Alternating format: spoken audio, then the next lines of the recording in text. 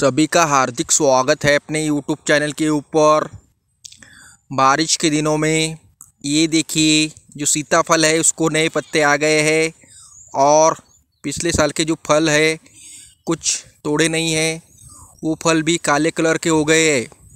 जैसे ही बारिश चालू होती है, वैसे ही सीताफल के पत्ते बढ़ते हैं और काफ़ी हरे पत्ते दिखाई दे रहे हैं और पेड़ भी ग्रोथ हो रहा है। सीताफल को इस महीने में फूल लगना चालू होते हैं और ये फूल बढ़कर दिवाली से पहले फल आते हैं और तब हम ये फल खाने के लिए प्रयोग कर सकते हैं। सीताफल के पत्तों का उपयोग एक कीट नियंत्रक के रूप में अच्छी तरह किया जा सकता है।